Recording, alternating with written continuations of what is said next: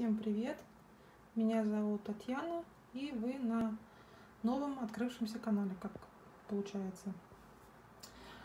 Начинаю свое первое видео, свой канал не с обзора своих начатых процессов, не с обзора своих запасов, не с апреля месяца стартов, а с вопроса. Все знаете, да, что вышел лонгдог, пандемия, ну и как всегда бывает, все побежали, я побежала. Всем надо было вышивать, и мне тоже надо было вышить этот лонгдог. Я его благополучно скачала. Стал вопрос, на чем вышивать. Но хочу сказать, что это мой первый лонгдог. Давно на них засматривалась, но как-то вот все не складывалось.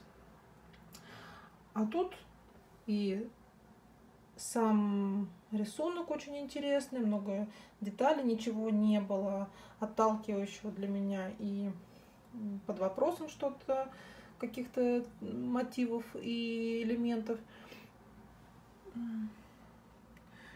Вот.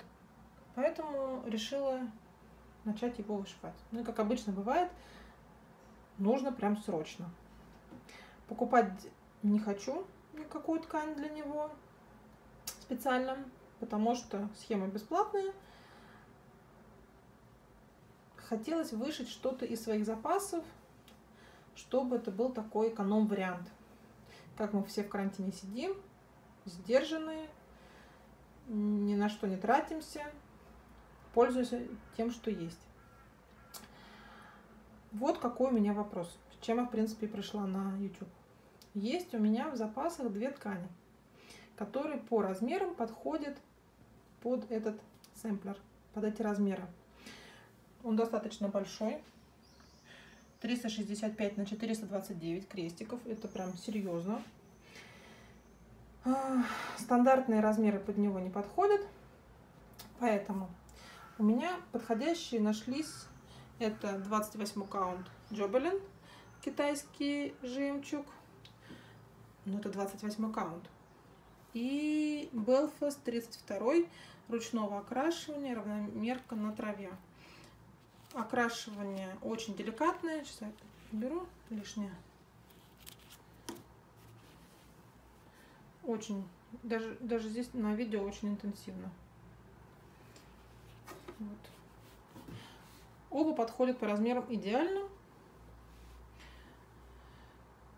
Но они огромные, просто невероятно огромные. Это будет такой, знаете, ковер из Советского Союза почти на всю стену. И, значит, выбрала я приблизительные цвета, то есть основные мотивы это будут какие-то такие синие, серые, грязные, невнятные, пыльные. Ну, сами знаете, да? Как сейчас очень все любят, как это модно, чтобы это не резало глаз, чтобы это не раздражало, и чтобы, когда они будут выцветать со временем, чтобы типа так и надо было. На камере они выглядят очень ярко, очень резко. В жизни это совершенно не так. Вот, девочки и мальчики, посоветуйте, на чем мне вышивать. 28 каунт или 32 По размеру они практически, ну, отличаются, конечно, ну, там, 5-10 сантиметров, но в масштабах этих отрезков это просто незначительно. Что скажете? Я прям мучаюсь.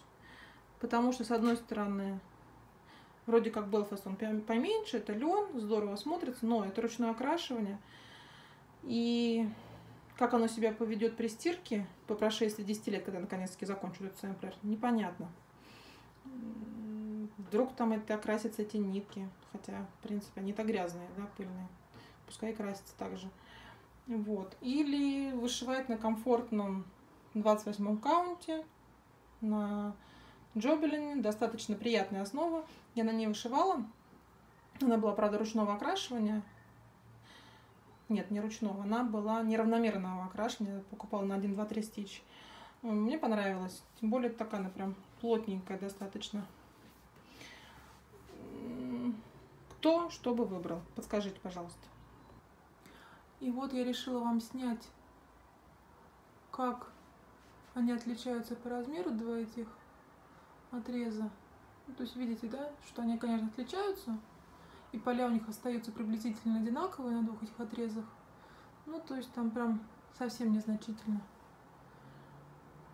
Сейчас у вас окрас совершенно не соответствует действительности, он очень резкий, очень контрастный. Это не так. В жизни он еле-еле заметный. Вот, я просто хочу показать, какого они размера. То есть вот детская кровать 60 сантиметров, ой, 90 сантиметров ширину, да. Вот они вот так вот занимают такое место, такое пространство.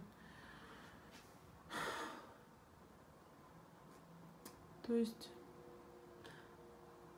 ковер на полстену получится, конечно, знатный. Но хочется попробовать. Что скажете?